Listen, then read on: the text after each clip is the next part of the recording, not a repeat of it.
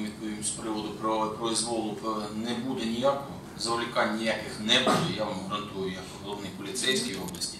А перевірка буде здійснюватися на підставі двох законів. Е, Один я вам вже озвучив перед цим, коли відповідав, і другий на підставі закону України про національну поліцію. Все. І в межах лише цих двох законів. І не більше, і не менше.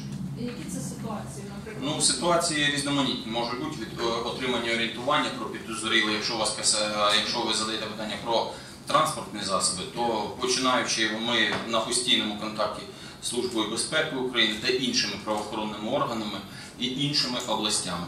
Е, Різноманітні е, проводяться операції на території, як можуть проводитись е, пошукові операції на е, території області, так і на території держави.